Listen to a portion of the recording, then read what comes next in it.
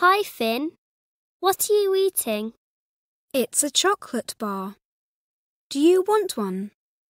No, I've just eaten an apple. It's much healthier. Hmm, you're right. Do you think you're healthy? Yes, I think so.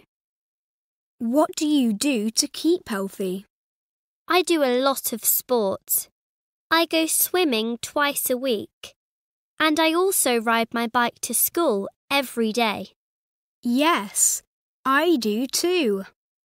Do you get enough rest? Yes, although I go to bed late and sometimes I feel tired in the morning. Do you usually eat healthily? We usually eat fruit and vegetables with every meal. Really?